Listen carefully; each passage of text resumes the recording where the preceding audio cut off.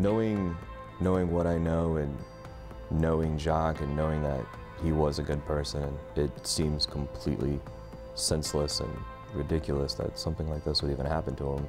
We talked to numerous coworkers, um, friends of his, and he just had no enemies and lived a pretty simple life.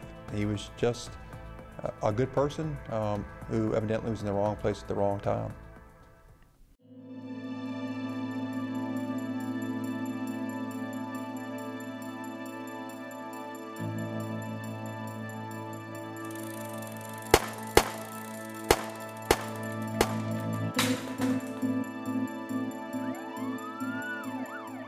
In August of 2015, uh, Jacque Gauthier, an Henrico citizen, was actually riding his bicycle in the area of um, Edgefield Street. We received calls for shots fired around 4 o'clock in the morning.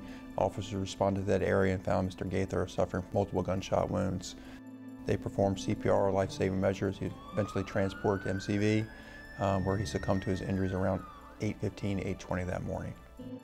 Mr. Gauthier had a wound to his head and he had a wound to his torso. The wound to his head was fatal. We believe there was multiple shots fired, not just the two. We did recover some shell casings from the scene.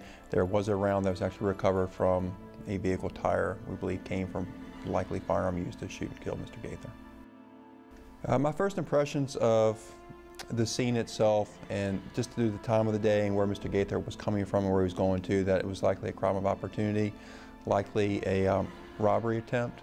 Um, maybe Mr. Gauthier refused their initial demands or they just came upon him at the wrong place at the wrong time and he was within a half a mile of his home, so he's really close to home.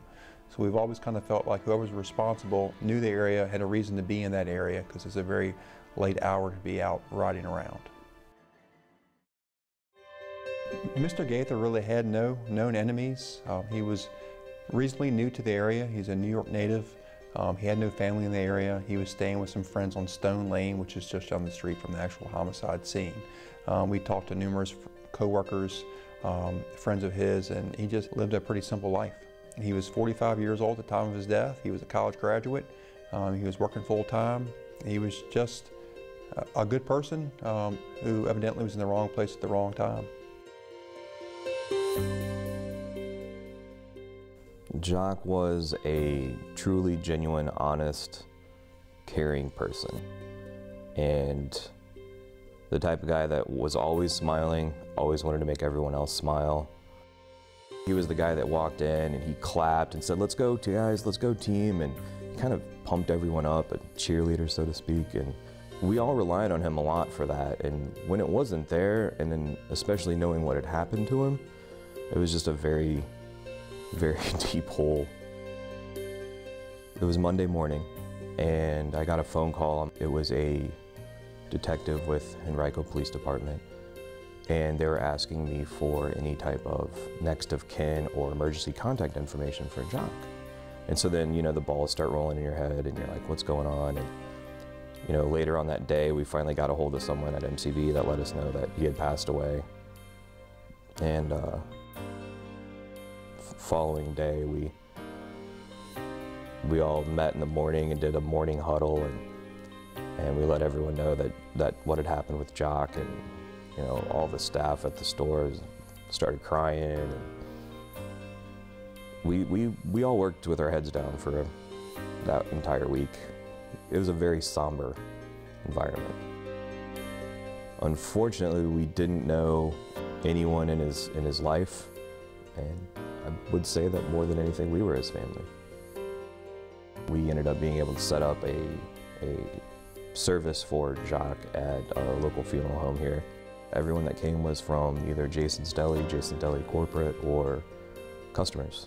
And we had a very great turnout with that.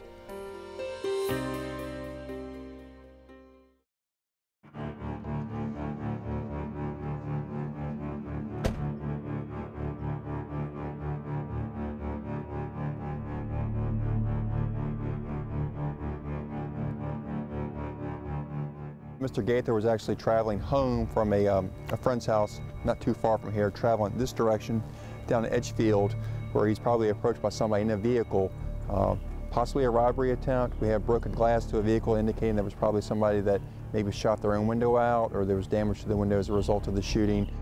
It doesn't appear that Mr. Gauthier was any sort of confrontation with anyone. He was most likely riding his bike.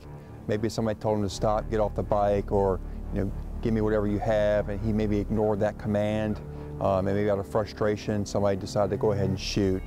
It didn't appear that he was in any sort of physical altercation with anyone whatsoever. Hey, Jenny. Hey, Matt. You think we could pull the evidence for the Jacque Gauthier homicide when you get a chance? Sure. Cool. Appreciate it. Regarding physical evidence in the case, there's not a lot. We do have some evidence in this case that could potentially have a lot of value if we get some help from the public. Um, around the time of the August 15, 2015, um, if you know someone that actually had um, a car repair to a window, probably a, a, car window on the side, not a windshield, um, we'd be interested in something like that. Detective Ross, sir. Okay, give me one second, let me get a pen. There are people that still I run into that ask about Jacque's case, um, whether it's been solved or not, or where it stands, and unfortunately I'm not able to tell them anything really positive about the case. At this point, it really is a cold case, until we get some public help here, um, it's probably going to remain unsolved.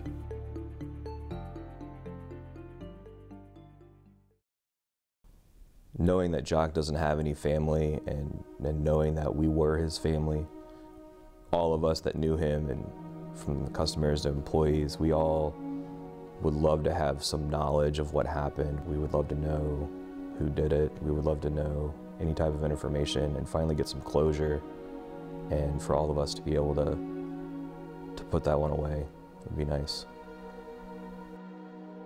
It's possible that somebody's talked about this. It's possible that young people are involved and they may have talked to other young people about it and we feel like somebody out there knows something about this case. If you know something or you want to make an anonymous tip about something um, that you know that someone did, we really appreciate any help. If we can just get one lead to point us in the right direction with the physical evidence that we have, we think the case potentially has the ability to be solved.